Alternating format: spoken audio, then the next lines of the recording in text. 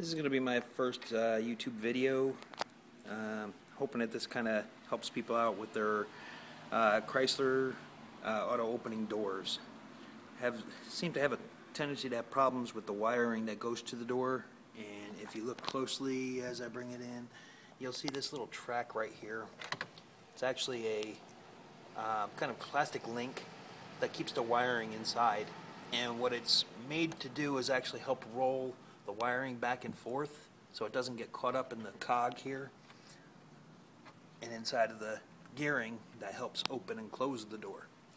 Problem is, is that after a while of using the door um, and the wires going back and forth, um, it actually breaks the wire. On the inside of the insulation, you won't be able to even see the fact that the wires are broke. The door will just suddenly stop working uh, basically, the other day I ended up getting a notification from somebody saying that my door was open, and it was four hours after I left my van. I pressed the button and thought the door had closed all the way, but it stopped almost a foot prior to closing, which meant my vehicle was unlocked for four hours. Um, so hopefully this video will help um, everyone figure out what the problem is with their doors and maybe help uh, some of you guys fix it. First step is to take this plastic piece off the top of the cog. There's two screws, one on the top here and one here. Both of them are Phillips, so a number two Phillips should work it. Next thing that needs to be done, uh, there's a little wiring harness right here with a with a plug on it, and the wiring harness comes across here. there's a little tiny piece down inside of here that pushes into the door to hold the the um, hard wiring harness part there. First thing you're going to need to do is there's a little cable here. Just kind of lift it up and push it up and out of the way. That'll kind of make it easier. Then there's a little tab right here. You're going to pull that tab downward. That unlocks the clip. Also unlocks this. So once that's done, there's a little detent push. You push the detent. Whoops, sorry. Push the detent and you can wiggle the plug and the plug will unplug. As you see, the plug is out. This a little pin right there, and that's the little popper you pop down. It's still attached here, so we're going to go ahead and put a screwdriver up under here, a little flat screwdriver, and kind of work it off easily, because if you don't work it easy, it's going to want to kind of scratch your paint, and it's also going to end up breaking the, the little plug piece that's down here. It's very hard to see from this angle. There we go. Right where my finger is, there's a little, there's a little circle has uh, has no way of getting really under it unless you get underneath the harness. Pin gives you a little bit of trouble, doesn't want to come out. Sometimes you got to actually use a diagonal pliers, which looks like this. Get up underneath it, underneath the harness itself, on this side, and you're able to kind of pry up on this. Just got to kind of pry it back and forth until these little teeth end up letting go. Um, be careful not to break this harness though because that's actually what keeps this in place. Keeps it underneath the door hinge right here and keeps it, it keeps the wiring up and out of the way. Um, your wiring should lay down inside here like so. But once you take it off, you lift it up and out and it frees it. next step is actually this little hinge pin right here. That's actually what holds your your uh, kind of chain wiring harness on. There's a little tiny flat piece right across the face here. You take a a uh, hook or a pin or something, anything that you really have that you can get down inside of it. When you push it down in, you'll actually feel it pull out a little bit. You're going to kind of just pull a little bit. Once it's there, you should be able to take a pair of regular pliers and kind of yank it out the rest of the way. It should pull completely out. Sometimes it gives you a little trouble but as you see it just pulls out. Once once you get that out of the way this actually just pushes downward. Once it pushes out of the way and downward it pops off the pin and your harness is free. As you see the harness is completely free. It's the front part of the harness right here with the plug on it harness retainer. It's your wiring harness with loom over it down into your harness chain.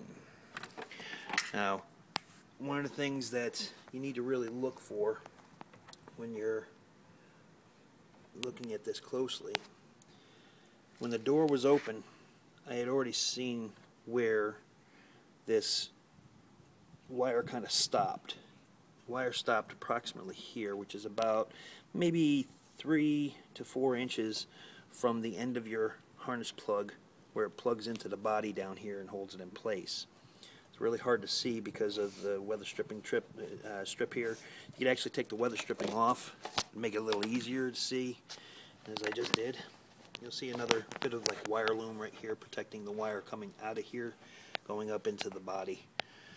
Um, next step is you want to take chain link right here on each side.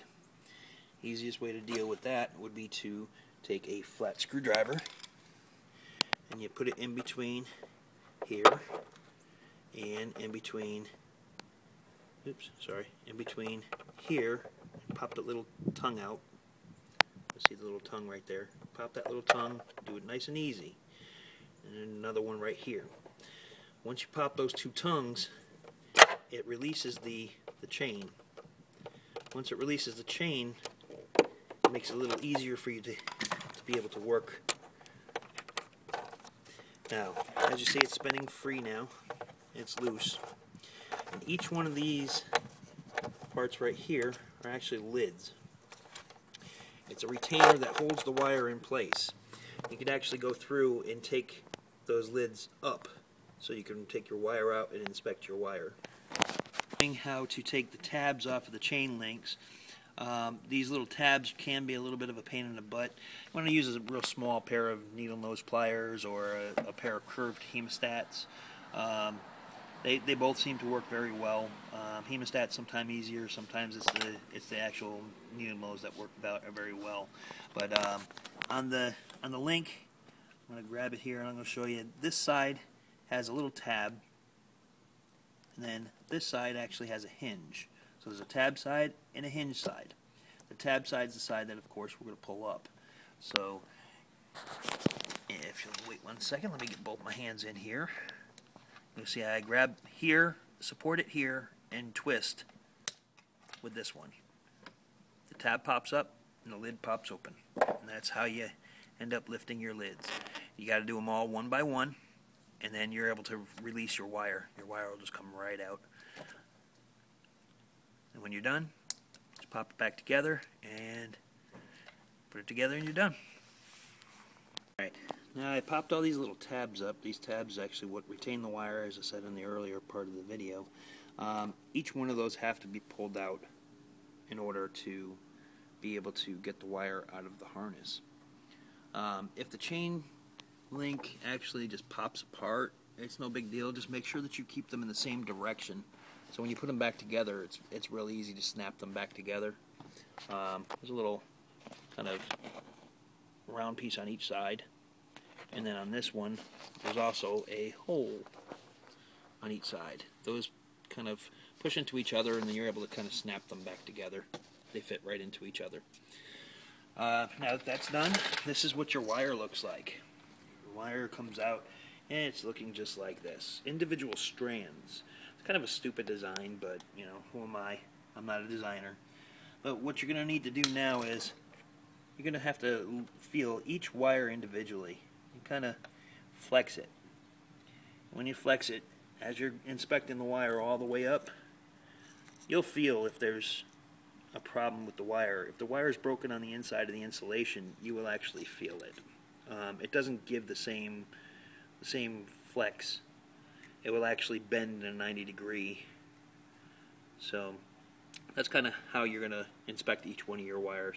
But another thing you might want to do prior to doing that, if the if the wires are real nasty, um, you can actually use a little bit of um, this is just Rust-Oleum wax and tar remover. Just use a cheap rag, spray it on the rag, and wipe the wires down. Um, kind of makes things a little bit easier. You're not having to worry with sticky fingers or grease or dirt. Uh, makes things a little nicer for you. Okay, this is actually the power wire. It's black with a red stripe. Um, this one on my other door was actually the problem.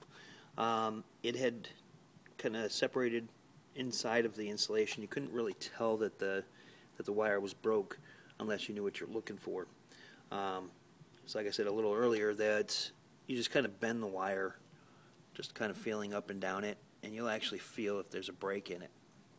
If there's a break in it, what you want to try and do is remember where you saw down inside of the track down here. About three inches from the end of here was where my flexation point was. That's where I want to kind of cut into the wire, kind of cut the wire off, and that's where I'm going to begin one of my splices. Um, I didn't find any breaks in this wire. I was just basically doing this to inspect it. Since the other one gave a problem, this I figured this one was probably going to also. But um, sometimes it's a pleasant surprise you don't find an issue with it. But um, basically, you're gonna just cut it right about here. You're gonna splice it, splice in a new piece of wire. You want to make sure the wire is the same size diameter on the inside, um, or larger, same size or larger.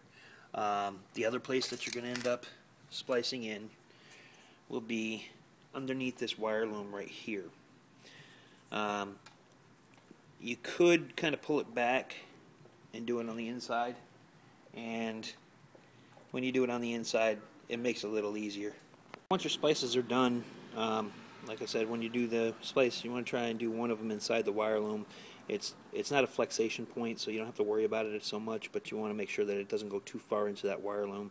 When you're done make sure that you kind of put a little piece of tape around here. Now I don't like the fact that all these wires are just kind of flexing around. So what I try and do is every so often just put a little piece of tape around it. Um, don't want to do it too tight because you still want the wire to flex. But once that's done, you put everything back together. Um, it's pretty much finished. Um, like I said, I didn't find any issues with this door, so that kind of made this one easy for me. And um, I'm going to go ahead and put it all back together hopefully this video kind of helped you out a little bit. If you don't know how to splice wires, um, the next time I have to splice a wire, I'll go ahead and do a video specifically on splicing wires. Uh, have a good day. Hopefully I helped.